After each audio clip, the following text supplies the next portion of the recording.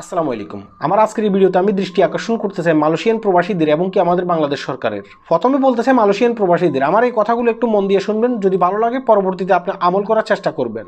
আপনারা যেখানে থাকেন না কেন, যে অবস্থায় থাকেন না কেন, প্রথমে স্বাস্থ্যবিধি মেনে চলার চেষ্টা করবেন।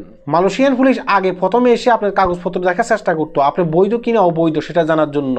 আর এখন এসে জিজ্ঞাসা করে, আপনি কি স্বাস্থ্যবিধি মেনে চলতেছেন? কতটুকু মেনে চলেছেন? এবং কি আপনার মাস্ক কোথায়? এখন বেশিরভাগই কোম্পানিগুলোতে রেট দিচ্ছে শুধুমাত্র স্বাস্থ্যবিধি মেনে না চলার কারণে।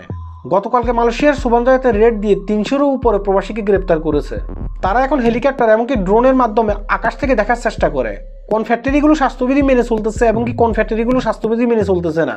হয়তোবা আপনি এখন মনে মনে ভাবতেছেন যে আপনার হাতে পাসপোর্ট আছে এবং কি বিষে আছে, আপনার কোনো টেনশন নেই। এই ধারণা নিয়ে পড়ে থাকা এবং কি বোকা সরকারে বসবাস করা এখন সেম কথা। আপনার বিষয় থাকুক কিংবা না থাকুক, তারা আপনাকে গ্রেপ্তার করবে, শুধুমাত্র যদি একটু ভুল হয় আপনার। আপনাকে বুঝতে হবে লকডাউনের কারণে তাদের দেশের মানুষগুলো এখন খুব কষ্ট করতেছে। আর আপনি তো হচ্ছেন বাইরের একজন ব্যক্তি ফরেনার তারা আপনাকে নিয়ে কেন টেনশন করবে? অতএব যেখানে থাকেন সেভে থাকার চেষ্টা করবেন এবং কি স্বাস্থ্যবিধি মানার চেষ্টা করবেন। এখন হচ্ছে আমাদের এই ভিডিওর দ্বিতীয় পার্ট অর্থাৎ আমাদের অভিভাবকদের কাছে। আমাদের অভিভাবক হচ্ছে আমাদের বাংলাদেশ সরকার। আমরা এখানে কি অবস্থায় আছি, কি অবস্থায় না আছি তাদের খোঁজ খবর রাখার দরকার। অথচ আমরা এখন পর্যন্ত তাদের কাছ থেকে কোনো আশা পাইনি, কোনো ভরসা পাইনি। বিশ্বের বিভিন্ন কান্ট্রির লোক মালয়েশিয়াতে বসবাস করে। আমাদের চোখের সামনে তাদেরকে তাদের দেশের পক্ষ থেকে ত্রাণ বিতরণ করা হচ্ছে। আর আমরা বাংলাদেশিরা সেটা সে সে দেখতেছি এমনকি আমাদের চোখের ফানি জড়াচ্ছি। এখন পর্যন্ত আমাদের বাংলাদেশ সরকারের পক্ষ থেকে কেউ এসে আমাদেরকে এক মুঠো তানও দেয়নি, এমনকি আমাদেরকে সান্ত্বনাও দেয়নি। লাস্ট পর্যায়ে এই লকডাউনের কারণে হাজার হাজার প্রবাসীরা বাসায় বন্দী হয়ে আছে। আর এই দিক দিয়ে এই দেশের প্রশাসন এক ডিলে দুই ফাঁকি মারতেছে। অর্থাৎ তাদেরকে রাস্তায় ঘুরে ঘুরে অবৈধ কিংবা বৈধ প্রবাসীদেরকে ধরতে হচ্ছে না। তারা বাসায় এসে প্রবাসীদেরকে গ্রেপ্তার করে নিয়ে যাচ্ছে। অথচ আমাদের বাংলাদেশের এত বড় বড় নিউজ চ্যানেলগুলো তারা কোনো খবরে প্রচার করতেছে না। তাহলে কি আমরা গরিবের ঘরে জন্মগ্রহণ করে ভুল করেছি এবং কি আমরা প্রবাসের মাটিতে এসে ভুল করেছি?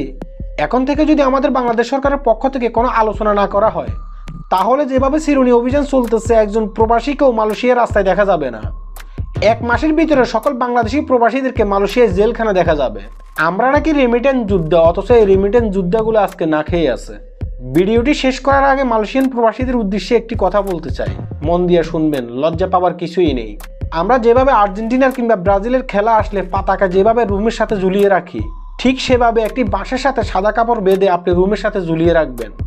যারা সাহায্য সহযোগিতা করতে চায়, তারা এই পাতাকাটা দেখলেই বুঝতে পারবে। তখন তারা এসে আপনার বাসায় খানা দিয়ে যাবে। ভাই, লজ্জা পাবার এখানে কিছুই নেই। আমি বাঁচলে তো আমার দেশের নাম হবে, তাই না? এই ভিডিওটি এখানেই শেষ করছি। সবাই ভালো থাকবেন, সুস্থ থাকবেন। দেখা হবে অন্য কোনো সময়, অন্য কোনো ভিডিওতে। আল্লাহ হাফেজ।